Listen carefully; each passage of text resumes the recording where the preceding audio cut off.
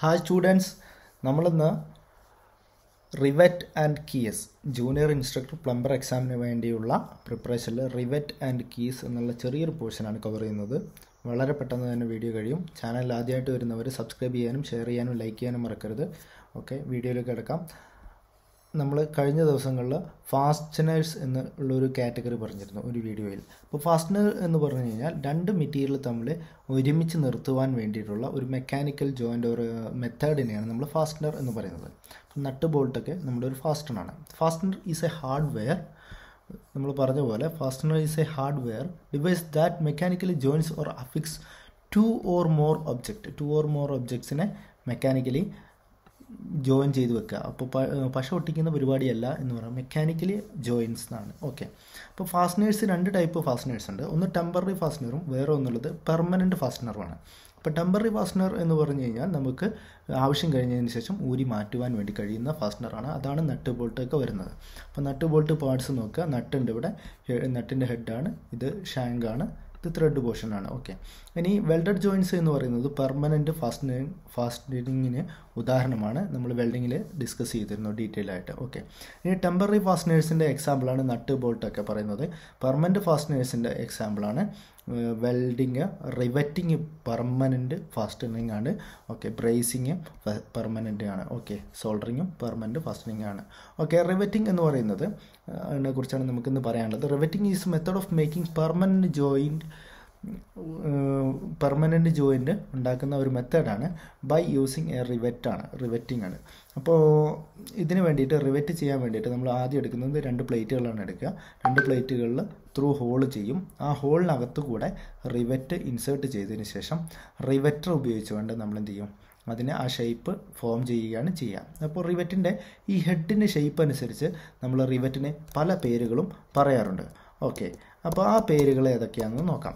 ആദ്യത്തേതാണ് snap head rivet ഇതാണ് ഏറ്റവും കൂടുതലായിട്ട് നമ്മൾ കണ്ടുവരുന്ന റിവെറ്റ് എന്ന് പറയുന്നത് most commonly used in for structural work structural വർക്കിന് വേണ്ടിയിട്ട് ഏറ്റവും കൂടുതൽ ഉപയോഗിക്കുന്നത്. റെയിൽവേനകത്തൊക്കെ ഉപയോഗിക്കുന്ന മേൽപ്പാലമൊക്കെ ഉണ്ടാക്കിയിരിക്കുന്ന സമയത്ത് അതിന്റെ ഹെഡ് പോയി നോക്കിക്കഴിഞ്ഞ് കഴിഞ്ഞാൽ നമുക്ക് ഈ ഷേപ്പ് കാണാൻ വേണ്ടി സാധിക്കും. ഓക്കെ ഇനി പാൻ ഹെഡ് ഉണ്ട്. പാൻ ഹെഡ് എന്ന് പറയുന്നത് ഇതാണ് ഈ ഹെഡിന്റെ ഷേപ്പിലുള്ള ചെറിയ വ്യത്യാസമാണ്. പാൻ ഹെഡ് ഒരു സൈഡിൽ സ്നാപ്പ് തന്നെയാണ്. വേറെ സൈഡിൽ പാൻ ഹെഡാണ് ഈസ് യൂസ്ഡ് ഫോർ ഹെവി കൺസ്ട്രക്ഷന് വേണ്ടിയിട്ടാണ് പാൻ ഹെഡ് ഉപയോഗിക്കുന്നത്. ഹെവി കൺസ്ട്രക്ഷന് വേണ്ടിയിട്ടാണ് പാൻ ഹെഡ് ഉപയോഗിക്കുന്നത്. ഇനി റിവറ്റിംഗ് ടൂൾസ് ഉണ്ട്. റിവറ്റ് സെറ്റ് ചെയ്യാൻ വേണ്ടിയിട്ട് റിവറ്റിംഗ് ടൂൾസിൽ വരുന്നതാണ്. റിവറ്റ് സെറ്റ് ഉണ്ട്.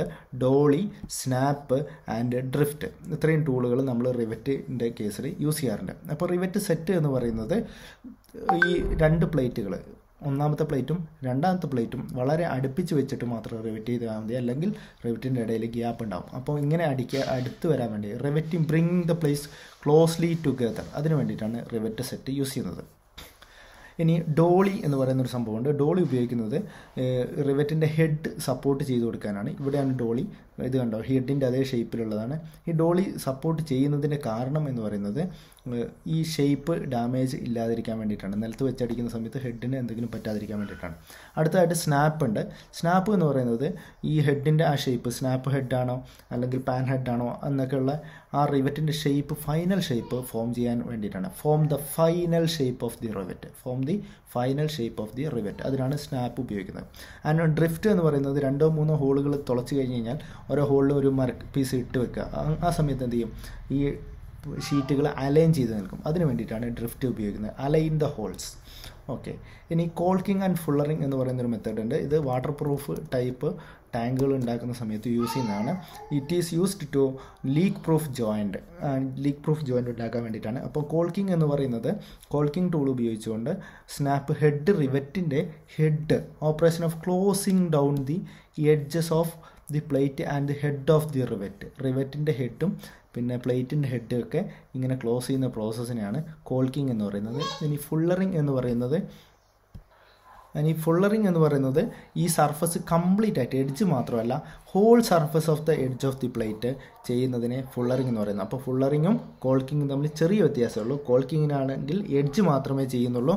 ആൻഡ് ഫുള്ളറിങ്ങിലാണെങ്കിൽ ഹോൾ സർഫസ് ചെയ്യുന്നുണ്ട്. ഓക്കെ ഇത്രയും കാര്യങ്ങളാണ് നമുക്കിന്ന് നോക്കാനുള്ളത്. കീസ് എന്നുള്ളത് നമുക്ക് അടുത്ത വീഡിയോയിൽ നോക്കാം. Okay thank you thank you for watching ഇഷ്ടമായെങ്കിൽ ലൈക്ക് ചെയ്യാനും ഷെയർ ചെയ്യാനും മറക്കരുത്.